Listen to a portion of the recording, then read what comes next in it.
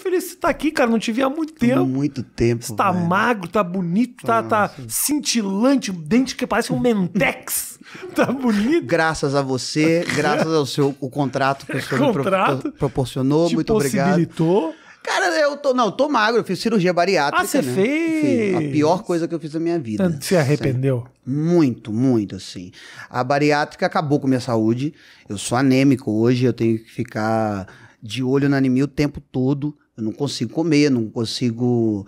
é, me deu uma depressão horrorosa, porque as taxas de vitamina, seu corpo não absorve mais vitaminas como uma pessoa normal. Então, as taxas vão lá para baixo. Isso me deu uma puta de uma depressão.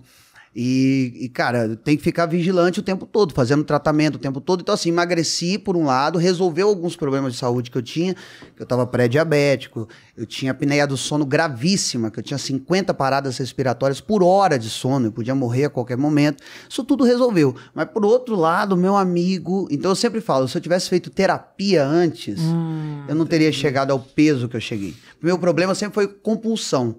Eu nunca fui viciado em nada, mas eu sempre fui compulsivo. E a compulsão, se você não trata ela, ela você troca de compulsão. Claro. Então eu tive compulsão por compra uma época, aí eu ia quebrar. Aí eu troquei Cara, da com... essa da compra é a mais absurda. É a mais absurda. Impressionante, porque eu vi um. Desculpa te interromper, você estava contando uma história, eu vou te contar uma história minha, não tem nada a ver. Mas assim, chato, né? Total. Mas eu vi um documentário que. Um documentário sobre vícios e o vício de compra.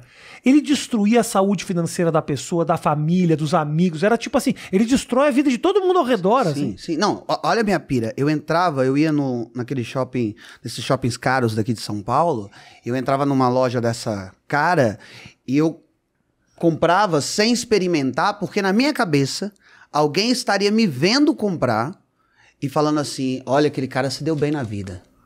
Olha como ele cresceu. Olha como ele. Porque eu vi, eu lembro de assistir um documentário do Michael Jackson, que ele chegava na loja e falava assim: This. This, e comprava, tipo, tinha gastado 8 milhões de dólares, assim, mas era o Michael É, o Jackson, Michael né? Jackson. E eu era só o Gustavo Mendes. e eu fazia essa merda. Então eu já, cheguei a, a, a- a torrar, tipo, 200 pau no mês de, de cartão de crédito Ui. com bobagem, assim, com isso, entendeu? E aí eu troquei da compra pra bebida. Da bebida pra remédio de dormir. De remédio de dormir, eu ia morrer. Aí eu fui pra comida. E na comida engordei pra caralho. E aí, quando eu emagreci, eu sabia que poderia voltar a compulsão pra qualquer coisa a qualquer momento. Tá. Então aí eu fui me tratar. E a comida era um conforto pra ti? O que que era? ela, Cara- resol... ela, ela, ela substituiu todas essas outras compulsões em algum momento? Toda, todas as compulsões. Mas ela era. Eu comia porque tava triste. Eu comia por. por comer, assim. Comia.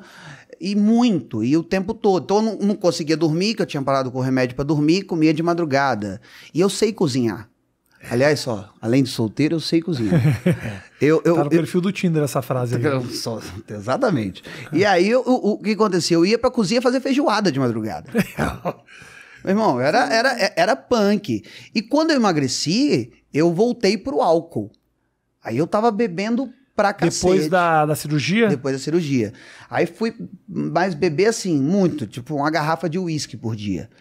Eu só conseguia dormir bêbado. É. Aí eu me, me atentei, me liguei. Falei, cara, não, eu- porque eu não, eu não vou voltar a comer. Não vou conseguir comer mais. Então eu Uhum. Claro. vou só beber, eu vou morrer. Não quero morrer. Eu não tenho medo da morte. Eu tenho medo de viver mal. Mas a tua. Isso resolveu como? É terapia? Terapia e canabidiol. É mesmo? Canabidiol. Fiz tratamento com canabidiol, que é muito caro, porque no Brasil não pode comprar aqui, você tem que importar. É muito caro, mas salvou minha vida. Acabou com todos os ansiolíticos que eu tomava, antidepressivo, resolveu meu problema com álcool. Claro, e associado à terapia. O canabidiol foi a melhor coisa que me aconteceu. Hoje eu não faço mais uso. Aham.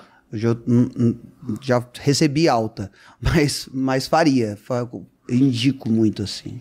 A tua, a tua escolha pela. Escolha, não sei se nem sempre. Fazer a cirurgia de, de redução do estômago lá, bariátrica, não foi nem escolha, então. Foi meio. Meu irmão fez primeiro e não morreu, que eu tava, tava esperando. Falei, vamos ver se der uma merda com ele. Eu não vou fazer nada. É. Ele fez, ficou bem e tal. E eu tava todo cagado nessas, nessas doenças aí, da, da pré-diabetes e tal. E a apneia do sono tava me dando muito medo de morrer, porque eu poderia ter um mal súbito a qualquer momento. Tava muito grave, muito sério. Então eu fiz, mas nunca foi pela estética, não. Porque eu acho até que eu emagrecendo me, me fudia um pouco. Porque eu, eu transava mais quando eu era gordo. Por Trans- quê? Não sei, eu acho que as pessoas gostam mais dos gordinhos, Ah, cara. não tem a ver com libido, tem a ver com atrair mais gente. Eu né? atraía mais gente, eu atraía. E eu acho que depois que eu emagreci, eu fiquei até um pouco mais preguiçoso com o sexo, talvez.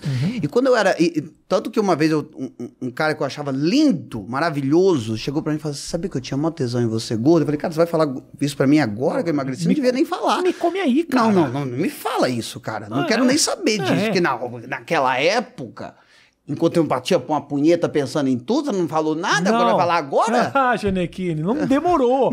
demorou, pô. Jane. Jane, Caio. É.